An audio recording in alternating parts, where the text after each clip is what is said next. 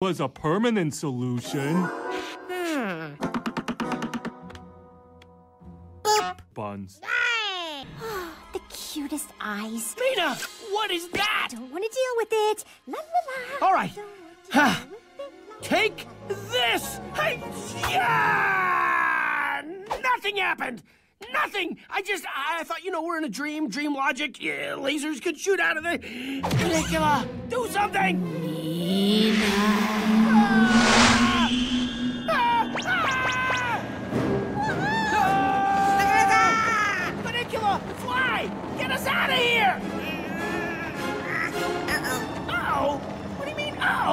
Do the ear flappies.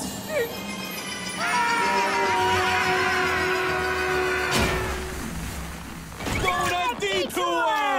Are those beignets? Mina, you have the best dreams. Uh, this is reality, Harold? You've been to Beignet Island before. I feel like I would remember. Great. Your creepy dream catcher has us stuck in whatever nightmare Mina wants to avoid.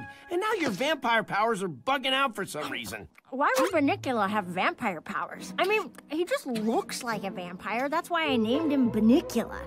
You guys don't want any donuts? Bunnicula, open your mouth. Not feeling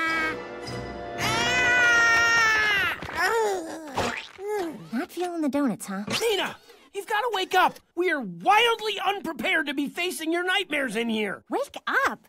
I don't know what you're talking about. There are no nightmares in here. Don't want to deal with it. She's in complete denial. We need a different approach before the nightmare comes back. My tooth fell out? But the vet said I have perfect oral hygiene. The only time my teeth ever fall out are in. nightmare!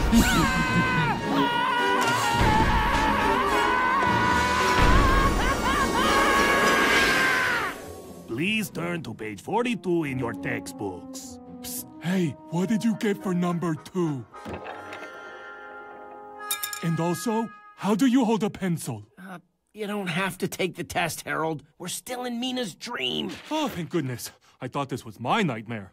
So, what's up? Harold, you gotta find Bunnicula. He needs to get us out of here. Oh, he's over there.